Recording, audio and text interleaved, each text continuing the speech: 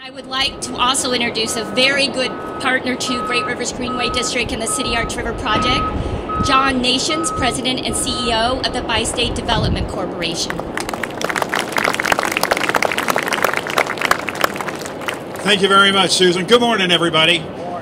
It is a great privilege and at once a great pleasure for me to be here today representing the Bi-State Development Agency as we as we consider and we mark another milestone in a great project that transforms our city and our region into a better place.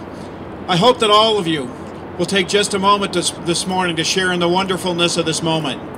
For more than 50 years since the Arch was originally conceived, it has had the opportunity and the power to draw us all together, to work in a cooperative spirit, and to build the great partnerships that advance our region and make it one of the finest in the country. Almost 50 years after the cornerstone was laid, it brings us together again. As we contemplate the next 50 years and as we move our region forward, I assure you we will consider it a great privilege and a great pleasure to work with all of our partners to advance our great region and make it second to none.